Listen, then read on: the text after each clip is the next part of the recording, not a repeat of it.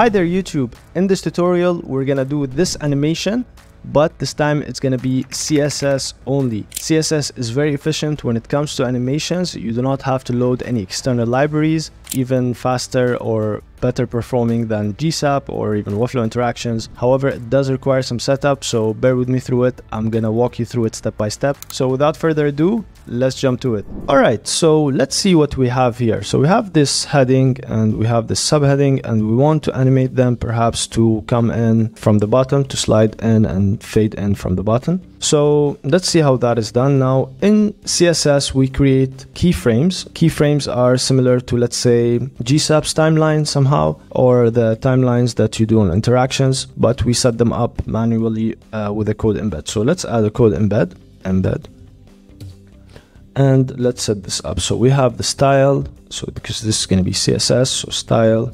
And then we're going to set our keyframes here. So we start with keyframes and then we name it. So we give it a name. So slide up fade in. This is our keyframe. And uh, now we're going to set up the options. So it's going to be from again similar to gsap and we're going to again open and close bracket. And here we're going to say from opacity 0 so opacity 0 to 1 but we're, first we'll set the from state. So opacity 0 and then we want to move it. So transform. And that will be translate y because we want to move it to the y-axis and then we want to move it 100 pixels down. So it's down 100 pixels with a 0% opacity and then we're to set the to state and then the to state we're to get it back to opacity 1 and then transform translate y and this will be zero pixels.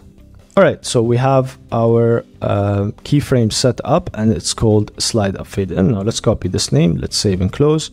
And uh, of course, this key, uh, code embed can be anywhere on the page. Perhaps if you have the page code element, you can add this inside. However, let's set this up for this element. Now we want to set the keyframe that we just created for this uh, div block.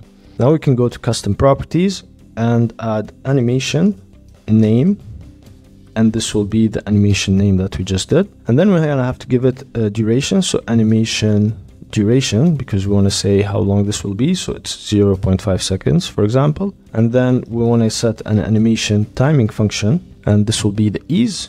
And we want to say let's say ease. Can be linear can be ease in and out. Uh, you can view more of course if you go here and view on mdn and you can see a lot more uh, easing timing functions this is video 17 as part of the 100 days of Webflow journey. So if you're enjoying this type of content, do subscribe to the channel. You're gonna love what's coming on the way. Let's get back to the project. So let's get back to the project. Now we have this set up. So if we preview this, you can see that it's already animating uh, as we as we want it. Now let's say I want to animate this part right after. So if this part is taking 0.5 seconds, I want to have a delay here of 0.5 seconds. Now first I want to apply the animation here. So I can do this instead of applying them one by one. I can just use animation and then I can apply them together here in one property. So slide and fade in and then 0.5 seconds uh, duration and then ease as the um, timing function. And then if I press enter, you see it applies right away. However, I want to also include a delay. So we can uh, say animation delay and this will be 0.5 seconds because I want this to animate right after the title. So if I preview this, it's animating 0.5 seconds after. However, it's uh, not keeping the from state. So in order for it to keep the from state and stay hidden, I'm gonna give it animation, fill mode, and it's gonna be backwards. And this will keep the from state until the delay is over, until the animation starts, and then it animates as we see here. So this meeting and then this is after it.